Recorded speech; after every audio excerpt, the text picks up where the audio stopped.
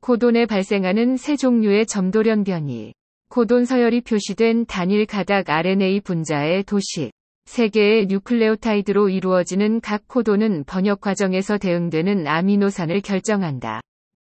점돌연변이에 의해 코돈이 바뀌면 그에 대응하는 아미노산 또한 바뀌게 된다. 생어 염기서열 분석으로 알아낸 점 돌연변이.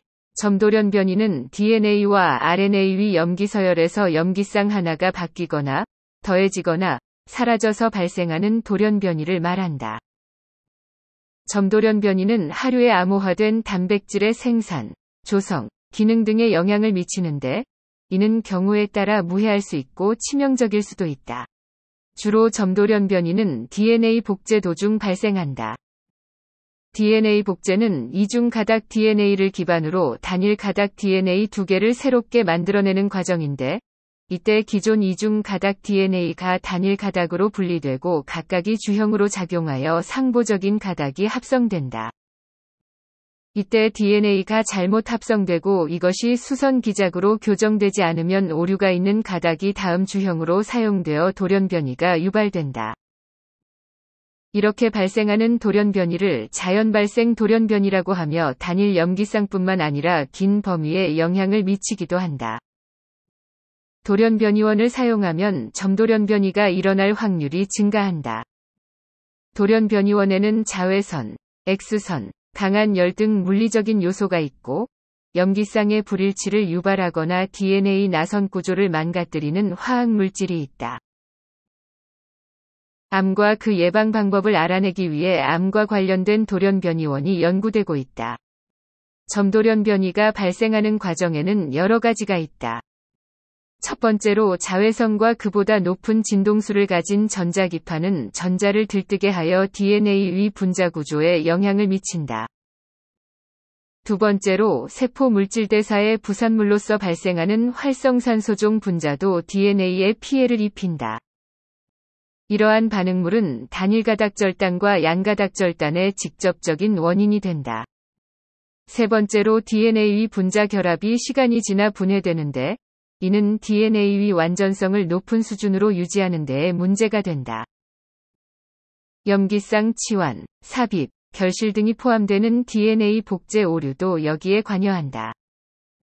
전이와 전환, 1959년 언스트 프리즈는 점돌연변이의 유형을 구분하기 위해 전이와 전환이라는 단어를 고안했다.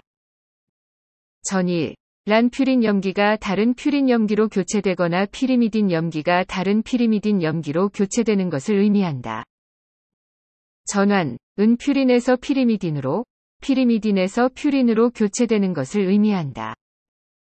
전이와 전환은 돌연 변이율의 일관적인 차이를 보이는데 전이가 전환보다 약 10배 더 자주 일어난다. 넌센스 돌연 변이에는 종결 획득과 개시 상실이 있다. 종결 획득은 너무 이른 지점에 종결 코돈이 만들어져 번역이 미완성으로 끝나는 돌연 변이이다. 이러한 번역 중단으로 비정상적으로 짧은 단백질이 만들어지는데 사라진 아미노산의 개수가 단백질의 기능과 정상 작동 여부를 결정한다. 종결 상실은 기존 종결 코돈에 발생하는 돌연 변이로 비정상적으로 긴 시말단을 야기한다. 게시 획득은 기존 AUG 게시 코돈보다 상류의 새로운 게시 코돈을 만들어낸다.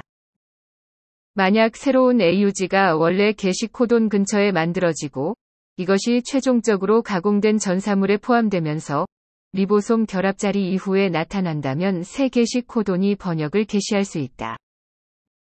예상되는 효과로 N말단에 아미노산이 추가될 수 있고 트리동 돌연 변이도 가능하지만 보통 원래 단백질의 번역을 망치지는 않는다. 게시상실은 전사물의 AUG 게시 코돈의 점돌연 변이가 발생한 것으로 단백질 생산량을 줄이거나 없앤다. 미스센스 돌연 변이는 기존과는 다른 아미노산을 암호화한다. 미스센스 돌연 변이는 코돈을 바꾸어 다른 단백질을 만드는데 이러한 변화를 의미가 바뀐다는 뜻에서 비동의 적이라고 한다. 보존적 돌연 변이는 아미노산을 바꾸지만 그 성질은 유지한다. 때로는 하나의 아미노산 변화가 생물에 전체적으로 해롭지 않을 수 있다. 대부분의 단백질은 그 기능이 변하기 전에 한두 개 정도 점돌연 변이가 있다.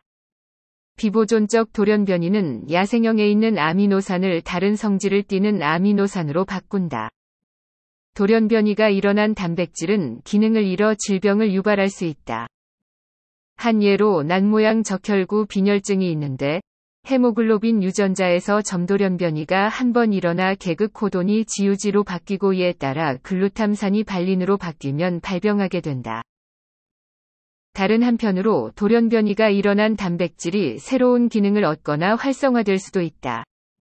예를 들어 BRAF 유전자에서 돌연변이로 인해 발린이 글루탐산으로 바뀌면 RAF 단백질이 활성화되는데 이는 암세포에서 증식 신호의 무제한 발생을 유도한다. 이상으로 살펴본 두 예시는 모두 미스센스 돌연변이 중 비보존적 돌연변이에 속한다. 침묵 돌연변이는 아미노산 서열의 변화가 없다. 돌연변이에 의해 염기 하나가 바뀌었으나 암호화하는 아미노산은 그대로인 경우를 의미하며 독리치환이라고도 한다. 침묵 돌연변이는 단백질의 기능에 영향을 주지 않으며 돌연변이가 없는 정상 단백질이 만들어진다. 돌연변이 이전과 이후 코도니 같은 아미노산을 암호화함으로 독리적 변화라고도 한다. 이것이 가능한 이유는 총 64개 코돈이 단 20개 아미노산과 존결 코돈만을 암호화하기 때문이다. 하지만 달라진 코돈이 단백질 발현량에는 차이를 줄 수 있다. 때로 점돌연변이라는 용어는 단일 염기쌍의 삽입과 결실을 의미한다. 이러한 변화는 번역 과정에서 뉴클레오타이드를 3개씩 묶는 틀을 이동시켜 아미노산 서열을 완전히 바꾸는데 합성된 단백질에 주로 부정적인 영향을 미친다. 시청해주셔서 감사합니다.